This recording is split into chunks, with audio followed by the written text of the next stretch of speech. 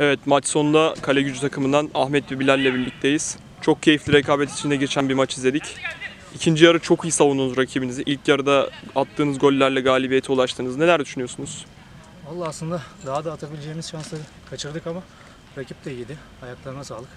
Tebrik ederiz arkadaşları. E, güzel maç oldu. Centilmence. Tebrik ediyorum arkadaşları da. Başarılar diliyorum turnuvada.